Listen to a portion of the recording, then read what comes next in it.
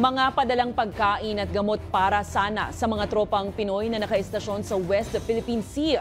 Inagaw at itinapon ng China sa dagat ayon sa Armed Forces of the Philippines. Sa gitna naman ng panibagong pag-igting ng tensyon, itinatanggi ng AFP ang akusasyon ng Beijing na tinutukan umano ng baril ng mga tropa ng Pilipinas ang Chinese Coast Guard. May balitang A to Z si Kim Salinas.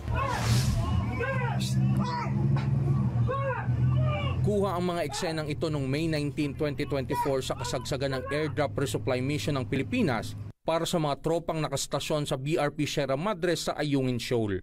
Naguhulog ang Armed Forces of the Philippines ng padalang pagkain at supplies para sana sa mga sundalo, pero Yung pala ilabangan nila. Lako.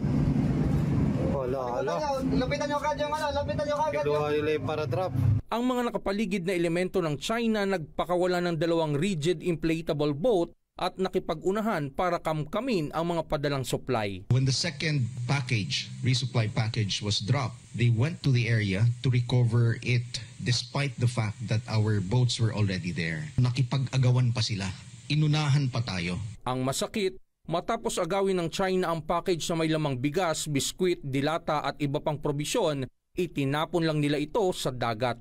Naisalba pa ang ilan dito pero karamihan dito na sayang lang. Wala silang karapatan na kunin yung sarili nating supply because ang mga laman lang naman ng supply natin as you saw were food items and some medicines. No? Some medicines because uh, sometimes nagkakasakit yung mga sundalo natin on board. Itinanggi naman ng AFP ang akusasyon ng Beijing na tinutukan ng armas ng mga tauhan ng BRP Sierra Madre ang China noong araw ding iyon. Paglilinaw ng AFP, nakaalerto ang tropa sa BRP Sierra Madre bilang self-defense. Sa kasagsagan ng agawan, lumapit ang nasa 5 hanggang 10 metro ang tropa ng China. On the issue of uh, the pointing of the guns, we are denying no, uh, that any of our soldiers pointed deliberately their guns to any of the Chinese uh, in the in the ribs. No? Ito ang unang beses na umabot sa ganito kalapit ang China sa nakaistasyong barko ng Pilipinas. Bukod pa ito sa mga Chinese vessels na nakapaligid sa West Philippine Sea. we have the right to defend ourselves from any armed attack or external attack. no?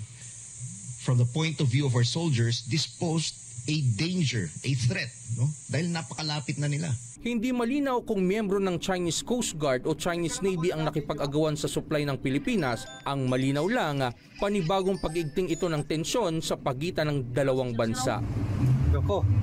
Sa bahura, bahura. Babanggain kayo. Huwag nyo, huwag nyo ipakuha, huwag nyo ipakuha! Para sa Balitang Ito Z, Kim Salinas.